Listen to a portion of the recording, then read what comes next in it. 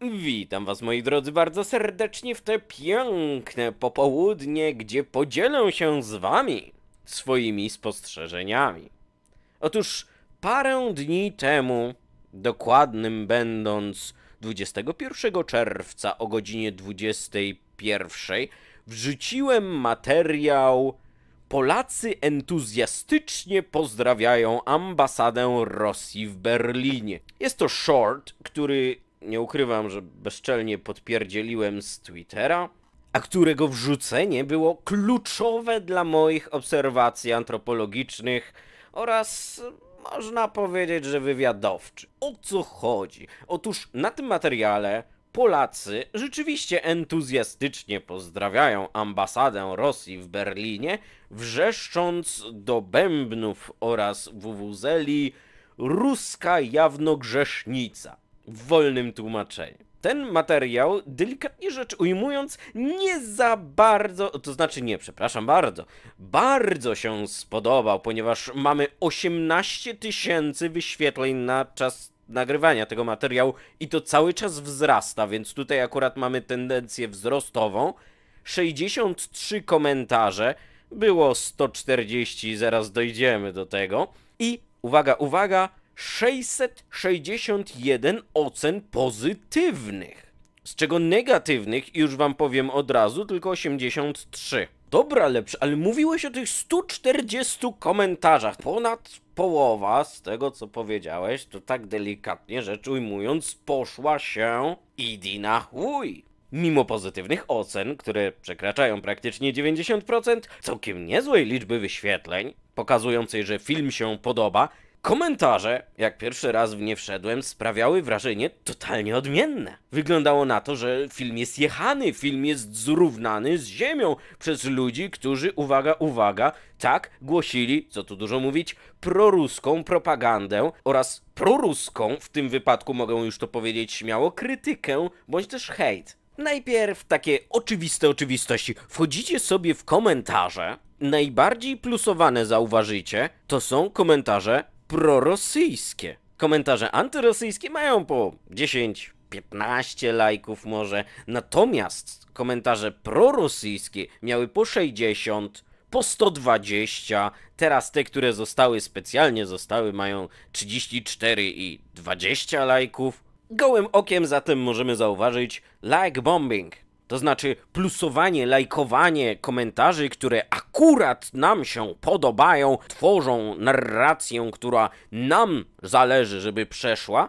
Jest to zabieg dosyć klasyczny. Chodzi o to po prostu, że jak wchodzicie w komentarze, to większość ludzi ma zaznaczone nie od najnowszych, tylko najlepsze komentarze, najlepsze, czyli też między innymi te najbardziej plusowane. I widzicie dokładnie to, co ja zauważyłem na pierwszy rzut oka, że niby ten film jest jechany z błotem, że niby ci wszyscy ludzie, jak jeden mąż, doznali negatywnego odium wynikającego z tej sytuacji, co jest, jak już zauważyliśmy, nieprawdą. To jest pierwsza manipulacja. Druga to są sposoby retoryki tychże komentarzy. Pominiemy sobie klasyczne to idźcie na wojnę do Ukrainy ponieważ to jest komentarz tak oklepany zarówno na zachodzie, jak i w Polsce, że szkoda gadać, szkoda szczępić ryja. Jedyne co powiem to to, że prowadzenie działalności, na przykład poprzez umożliwianie zarabiania Ukraińcom, na przykład poprzez zatrudnianie Ukraińców, na przykład poprzez kupowanie ukraińskich produktów, napędza gospodarkę ukraińską, i to sprawia, że my nie musimy ruszać dupy z karabinem gdzieś tam, ponieważ Ukraińcy robią to za nas. My ich tylko wspieramy w tym, co jesteśmy w stanie zrobić lokalnie. Nie musimy poświęcać całego swojego życia dla dobra kraju. Tym się różni mentalność zachodnia od wschodniej. Mentalność wschodnia reprezentuje czysty totalitaryzm, to znaczy wszystko w państwie, nic poza państwem. Jeśli państwo potrzebuje twojej krwi, to bierz obywatelu karabin. Nieważne, że z pierwszej wojny światowej na sznurku, bierz amunicję, albo nie, bo, bo, bo w sumie tutaj nie mamy. Bierz mundur, nieważne, że tam poszyty, nie zadawaj pytań o te dziury, o krew. Leć, bierzesz karabin, prowadzisz w pierwszym szeregu. Tymczasem na zachodzie tak nie ma. Na zachodzie wychodzimy z prostego założenia. Jeśli na przykład zepsuła mi się rura, to dzwonię po hydraulika. Jeśli zepsuła mi się instalacja elektryczna, dzwonię po elektryka. Jeśli mam pożar, to dzwonię po straż pożarną. Jeśli widzę, że jakiś patus coś rozrabia, to dzwonię po policję.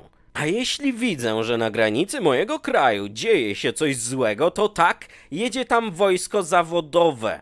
Z zawodu są wojskowymi, z zawodu są strażnikami granicznymi, nie ma żadnych ochotniczych w cudzysłowie korpusów, gdzie Saszku może się dostać tylko i wyłącznie dlatego, ponieważ za krzywo się spojrzał na lokalnego geroja partyjnego. Tylko są ludzie, którzy poświęcili całą swoją karierę zawodową, aby wykonywać konkretne zadania. Okej, okay, skoro już to mamy za sobą, to przejdźmy do tego słynnego Przestańcie do cholery prowokować Rosjan. Nikomu to nie jest potrzebne, a szczególnie nam, kraj frontowy bez armii i zasobów. Tak, to jest znów spojrzenie typowego Saszku, czyli jeśli nie ma duża armia poborowa, duża kupa ludzia, których się za siłę, za włosy, za, za dupę ściąga tylko i wyłącznie do tego, żeby w koszarach sobie maszerowali, groźnie wyglądali, malowali trawę na zielono, no to armii nie ma. Otóż nie. Nie, Saszku, armia XXI wieku nie działa tak, że jest kupa ludzia, tylko armia działa tak, że armia ma sprzęt. Sprzęt daje nam przewagę technologiczną, która sprawia, że większość ludzi tak może zająć się swoim normalnym życiem, płacąc podatki, które na ten sprzęt i jego konserwację oraz wyszkolenie personelu zawodowego, o którym już wspomniałem, idą. Po drugie, ta retoryka prowokować Rosjan, zwróćcie uwagę, ona była prowadzona też przez środowiska około konfederackie, co za zaskoczenie. Na czym polega ten fikołek? Otóż na tezie, że Rosja jest zagrożeniem, które może nas zmieść z planszy, stawiamy tezę, że jeśli jej nie będziemy prowokować, będziemy siedzieć cicho, to ona nas nie ruszy. Rozumiecie, tak jak ten T-Rex z Jurassic Parku, że jak będziemy stać nad nim, prosto w twarz przed nim, będziemy posrani, poszczani ze strachu, ale jeśli nie ruszymy, to on nam nic nie zrobi. On sobie po prostu pójdzie. Większej głupoty i debilizmu chyba naprawdę to ze świecą szukać. I tutaj są aż cztery błędy logiczne. Po pierwsze, nie, Rosja nie jest dla nas zagrożeniem, ponieważ jesteśmy w NATO. Rosja jest zagrożeniem dla całego NATO. Czy to oznacza, że możemy spać spokojnie? Względnie tak, tylko yy, czym cię oddajesz? To nic nie zmienia w ocenie tego.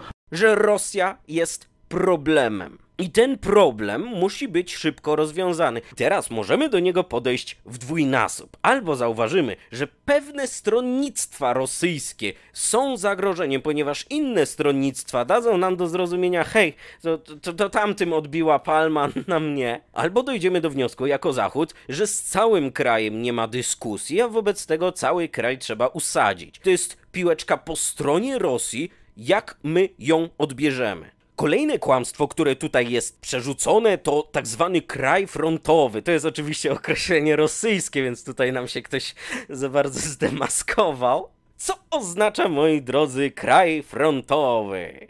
Region frontowy, frontowy. Otóż tyle, że z tego przyczółka będzie prowadzony atak Wobec kogo? Wobec czego? No wiadomo, oczywiście według ludzkiej propagandy, to NATO chce zaatakować Rosję, która się tylko broni, po prostu mordując innych ludzi. I oni z racji tego, że oczywiście są atakowani, szkalowani, niszczeni, miażdżeni poprzez syndrom oblężonej twierdzy, mają mandat na robienie wszelkich możliwych rzeczy, żeby tylko się obronić. Tutaj zresztą, jak każdy aspekt rosyjskiej propagandy, to się nijak nie klei, ponieważ albo mamy kraj frontowy, to znaczy frontowy region, gdzie gromadzą się wojska, żeby przypuścić ofensywę na tę biedną, szkalowaną, niszczoną, miażdżoną Rosję. I w tym momencie one musiałyby się tam znaleźć, żeby móc zaatakować kraj, tak? One się nie teleportują z innych krajów, bo wtedy inne kraje by były frontowy region, albo ich tam nie ma. A jeśli ich nie ma, to frontowy region nie istnieje. Nie można mieć ciastko i zjeść ciastko, Saszka. Kolejna rzecz, która płynie z tego, a właściwie jest swoistym zabiegiem, to jest taka desperacka chęć. To znaczy, Rosjanie zauważają, że jakakolwiek prorosyjska propaganda się nie sprawdza, tak? No, ni chuja, po prostu ci Polacy od dziwnym trafem praktycznie początków swojego istnienia wiedzą, z kim mają do czynienia, wiedzą, kim są Rosjanie, wiedzą, że potrafią być bestiami, wiedzą, jakie są rosyjskie zbrodnie, ponieważ w sąsiedztwie cały czas żyli, obserwowali i widzieli to i owo, tak? Co trzeba zrobić? Jak już nie idzie po prostu pokazać, że dobry ziomek Rosjanin, konserwatywne wartości, Putin z gołą klatą i tak dalej na niedźwiedziu. Przynajmniej wymóc, żeby zamknęli mordę. I to jest właśnie to, że jeśli nawet masz to złe zdanie o Rosji, nawet jeśli nienawidzisz Rosji, proszę cicho, cicho, sza, nic nie mówmy, nie krytykujmy, żeby w internetach zostały tylko te pozytywne komentarze na zasadzie jaka fajna Rosja, jaka super i w ogóle. Znów, moi drodzy, skąd my to znamy? Powiedzcie mi, skąd my to znamy? Mi do złudzenia przypomina to narrację kucowską przed wyborami, gdzie mieliśmy sytuację, że Kuce właśnie widząc jakiekolwiek moje filmiki, filmiki Krzysztofa Lecha Łukszy, filmiki doktora Napierały, jakiegokolwiek nawet Koroluka, Warchoła i tak dalej, krytykujące Konfederację wbijały tam i pisały pierdoły typu e, dlatego, bo krytykujesz Konfederację, to w tym momencie to ja już na pewno na nich zagłosuję. To też oczywiście niosło ze sobą przesłanie, że dlatego, że krytykujesz, to coraz więcej ludzi na nich głosuje, coraz bardziej więcej. Wobec tego, jeśli chcesz, żeby oni sukcesu nie osiągnęli, to zamknij mordę, nie krytykuj cichosza. Well, ding dong motherfucker to jest dokładnie ta sama taktyka. Teraz warto zadać pytanie, skąd kuce to wzięły? Nie wiem, choć się domyślam. Kolejny komentarz, który mamy, to lepiej byście pojechali na granicę z Białorusią, pomyślcie kto tę wojnę wywołał, bo na pewno nie Rosjanie. To jest oczywiście to, co wcześniej wspomniałem, czyli klasyczna narracja, że Rosjanie szkalowani, niszczeni, miażdżeni, syndrom oblężonej twierdzy to jest tak zwana narracja rannego łabędzia. Ona ma na celu wśród tak zwanych dobroludzistów wzbudzić litość, no bo przecież ktoś jest niszczony, szkalowany, to z miejsca dlatego, ponieważ jest ofiarą, to on ma rację, no bo przecież on jest niszczony, on jest słabszy, jemu się należy współczucie. No nie. O ile w przypadku zachodniowców, głównie Amerykanów, takie teksty przechodzą, no bo niestety, ale tam większość dobroludzistów się znajduje. O tyle wśród Polaków, sorry, ale coś takiego nie zdaje egzaminu. Co do reszty to jest standardowo, to znaczy ludzie, którzy rzekomo popierają denazyfikację Ukrainy, doszukują się spisku żydowskiego, no bo przecież wiadomo, że ludzie, którzy walczyli z nazizmem, to Żydów nienawidzili. Natomiast reszta komentarzy, która była albo w podobnym tonie, albo po prostu była jednym wielkim ściekiem, została przeze mnie usunięta. I tutaj od razu przyznaję się do drugiego celu wrzucenia tegoż filmiku, a mianowicie wywabienie wszelkich możliwych prorosyjskich, kacapskich kundli, którzy, przyznają szczerze, łyknęli zarzutkę pomistrzowską. Brawa dla was. W życiu bym się nie spodziewał, że tak dobrze to pójdzie. Z miejsca dziwnym trafem mój kanał jest czystszy, mamy szerszą dyskusję, mało tego coraz więcej ludzi odwiedza moje materiały, głównie przez ten short, ale nie ukrywam, że pomogła także aktywność kont prorosyjskich, która zauważyłem też znów z racji tego banowania działała tak, że im więcej ludzi banowałem, im więcej komentarzy usunąłem, tym więcej gości pojawiało się z dziwnym trafem, kopiuj wklejkami dokładnie tych samych komentarzy, które miały dokładnie tą samą liczbę lajków, aż żałuję, że nie miałem okazji zrobić screenów. I to pokazuje, moi drodzy, bardzo ciekawy mechanizm. To znaczy, zastanawiam się, na ile to jest mechanizm oparty o pewne trole, to znaczy farmy troli, którzy są prawdziwymi ludźmi, a o ile to jest kwestia algorytmu. Ponieważ sytuacja wyglądała tak od jakiejś godziny, dwóch, trzech wrzucenia materiału był względny spokój. Dopiero potem, jak materiał zaczął żyć własnym życiem, narobiło się nagromadzenie komentarzy krytycznych.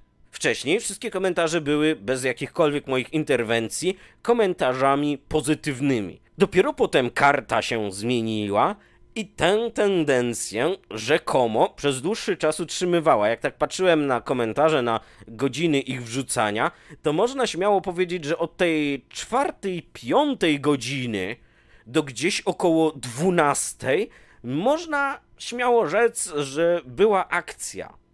Akcja tych wszystkich krytycznych, wolnomyślących, wolnych ktośów, którzy dziwnym trafem zaczęli wypisywać właśnie wszystko to samo oraz w tym samym tonie. Tutaj też pragnę zwrócić uwagę na nazwy tych kont, ponieważ te konta w większości przypadków to było imię, bądź też nazwisko jakaś oraz ciąg cyfr. Teoretycznie niektórzy twierdzą, że te cyfry coś znaczą i trole ruskie się po tych cyfrach rozpoznają. Natomiast szczerze mówiąc, ja już bym nie szedł tutaj w takie domysły, odpały, bo to nie jest materiał na rozważania, to jest materiał obserwacyjny. Od około godziny 12 do godziny 13-14 od wrzucenia materiału zacząłem swoją własną interwencję, usunąłem takie najbardziej plusowane komentarze, te, które były w tonie prorosyjskim, czysto prorosyjskim, bez jakichkolwiek uwag. I szczerze przyznam, że tutaj pragnę oddać, iż ludzie, bądź też boty, które te komentarze pisały, dostosowały się do tego, co banuje. To znaczy zauważyły, że komentarze czysto prorosyjskie, wychwalające ambasadę, gnojące Polaków, wyzywające ich od patusów, twierdzące, że wszyscy Polacy kylym na polach Ukrainy, zniknęły wraz z moim zbanowaniem, to znaczy nie pojawiły się komentarze w podobnym tonie. Zaczęły się natomiast pojawiać komentarze z tak zwanym rozmoczonym przekazem. Może niekoniecznie o Rosjanie, geroje wspaniałe, lecz poszła retoryka o treści jakie to świadectwo dajemy na zewnątrz, zachowując się tak pod ambasadami. Jak zapewne się domyślacie, te komentarze także zostały dziwnym trafem jak najszybciej plusowane. Rekordzista w ciągu 3 minut miał ponad 45 lajków. Co też pokazuje, że ludzie, którym delikatnie rzecz ujmując zależy na forsowaniu pewnej prorosyjskiej narracji, nie zwracają raczej uwagi na dislajki. Dislajki dają raczej ludzie, którzy są tak zwanymi pożytecznymi idiotami. Oni naprawdę wierzą, że walczą dla dobra Rosji, która jest prawdziwym imperium konserwatyzmu. Natomiast boty, bądź też trolle, już się nauczyły, że dislajki także bampują wideo, wobec tego ich klikanie jest po prostu jałowe. Natomiast lajki, jak już wcześniej wspomniałem, forsują przekaz na górę, wobec tego one są jak najbardziej zbożne, one są jak najbardziej propagowane i to właśnie one najczęściej pewne treści forsowały. Gdzieś tak około 15-16 godziny zaczęły się pojawiać komentarze jeszcze bardziej rozmiękczone, to znaczy komentarze ludzi, którzy zaczęli mówić jako ci dobrzy Rosjanie. Goście, którzy zwracali uwagę, że oni to są, rozumiecie, no tacy wspaniali, tacy dobrzy i oni no, no, no nie, niekoniecznie chcą być szkalowani przez wielkich Polaków, bo oni też z Polakami chcą się dogadać, oni są wspaniali, oni są, bo wiecie, bo my bracia Słowianie, my Słowianie wiemy jak, nie, nie, nie, nie, nie. A to jest, jak wszyscy wiemy, kolejna gałąź propagandy ruskiej, to znaczy panslawizm, założenie, które już wielokrotnie obaliłem, między innymi pokazując genetyczną krzyżówkę Rosjan, że oni są jakimiś takimi nadsłowianami, którzy będą tworzyli imperium słowiańskie i wszystkie słowiańskie narody muszą, po prostu muszą, no bo takie jest prawo krwi. Nie, nie, nie, w ogóle nie jesteśmy odzistami, nie, nie, nie patrzymy w ogóle na prawo krwi, żeby się wszyscy dogadali. Od około godziny 16 do tutaj akurat przestałem zwracać uwagę, no bo wiadomo, sen do około godziny 26, 27 od wrzucenia wideo, takie nuty zaczęły tutaj lecieć. I też oczywiście dziwnym trafem znów te komentarze miały po lajków 1100. Jak zapewne się domyślacie, tak też zostały przystrzyżone. I z dalszych prób, z tego co tutaj widzę, zrezygnowano Komentarze, które zostały, to zostały, ponieważ chciałem pokazać najbardziej akurat je.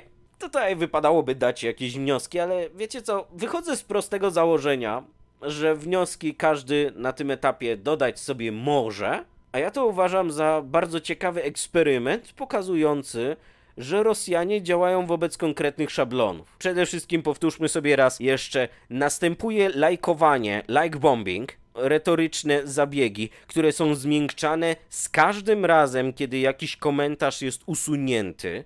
Przykłady retoryki działają na tak zwanej retoryce piramidalnej. Sam finalny argument tak naprawdę bazuje na serii poglądów, które musimy zaakceptować wchodząc w dyskusję, a które nie mają się nijak do rzeczywistości, natomiast dziwnym trafem znów pasują w 100% do ruskiej propagandy. I takie szambo wybiło na filmiku jakiegoś randoma, który ma ledwo 4,5 tysiąca subskrypcji. Tak, właśnie nam stuknęło 4,5 tysiąca subskrypcji swoją drogą, dziękuję wam bardzo za to. Ale bądź co bądź, jestem randomem. Jestem zwyczajnym gościem, który wrzucił po prostu short bezczelnie podpierdolony z Twittera. I jeżeli na moim koncie, na nie moim filmie, no bo pożyczonym shorcie, potrafią odwalać taki szajs, to wyobraźcie sobie, co się dzieje pod wszelkimi możliwymi materiałami mediów głównego nurtu, wszelkimi możliwymi Twitterami, Eksami, Srexami, a wreszcie kanałami proszurskimi, kanałami szurskimi, kanałami, które udają, że są takie niezależne, a de facto serwują ruską propagandę. I dodajmy sobie, że te ostatnie powiedzmy, że są prowadzone no przez nie najostrzejsze kredki w piórniku, które, delikatnie rzecz ujmując, mogłyby mieć problem z rozpoznaniem propagandy, która jest w sposób bezczelny wciskana ludziom do ryja. I to jest z jednej strony zabawne, ale z drugiej strony aż zatrważające. I to jest według mojej opinii też powód, dla którego Polska wreszcie powinna podjąć jakiekolwiek antyszurskie, antytrollerskie działania. To tyle na dziś. Dziękuję Wam za obejrzenie tego materiału. Jak zwykle zapraszam w opis, ponieważ tam znajdziecie link do mojego maila, link do mojego Patronite, tak, grosza daj lepszemu. A tymczasem ja się z Wami żegnam. Do następnego. Hej, hej. A ruskiej propagandzie idi na chuj.